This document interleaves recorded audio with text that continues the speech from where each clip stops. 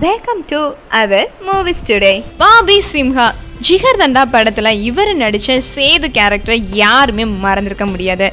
இந்த படத்துக்காக இவர் நேஷனல் அவார்ட் கூட வாங்கினாரு. நடிப்பில் ரொம்பவே பிஸியாக இருக்கக்கூடிய பாபி சிம்ஹா ரேஷ்மியை காதலிச்சாங்க. இவங்க இரண்டு பேரும் இணைஞ்சு உரிமீன் அப்படிங்கிற படத்துல நடிச்சிருக்காங்க. இவங்களோட காதலுக்கு இரு தரப்பு வீடுகள்ல இருந்து சம்மதம் கிடைச்சதும் நவம்பர் மாதம் எட்டாம் தேதி இவங்களுக்கு நிச்சயதார்த்தம் செய்யப்பட்டது.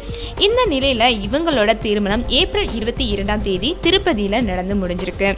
திருமணம் முடிஞ்சு இவங்க இரண்டு பேரும் சென்னை திரும்பியதும் வரவேற்பு நிகழ்ச்சி நடைபெற இருக்கு. திருமண வாழ்க்கையை தொடங்க போற இந்த காதல் ஜோடிகளுக்கு வாழ்த்துக்கள். இது மாதிரி மேலும் சுயா தமிழ் சினிமா செய்திகளை நீங்க எப்போதுமே தெரிஞ்சுக்கலாம். சப்ஸ்கிரைப் பட்டனை அழுத்துவதன் மூலம்.